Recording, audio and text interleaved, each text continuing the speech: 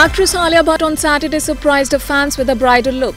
The Raazi actress posted a couple of photographs from an ad shoot on Instagram in which she is seen dressed as a bride. Donning a red lehenga, Alia looks graceful in the pictures. She completed her look with an emerald necklace and subtle makeup. Dulhan wali feeling, she captioned the images. Netizens are going gaga over Alia's wedding look from the advertisement.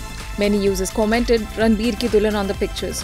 Ranbir dulhan le jayenge, a user wrote. Alia is in a relationship with actor Ranbir Kapoor earlier this year. A lot of rumors were doing the rounds on the internet that Ranbir and Alia would plan to get married at the beautiful Lake Como just like Ranveer Singh and Deepika Padukone. But in an earlier interview to IANS, Alia's mother Soni Razdan denied them saying it is totally baseless.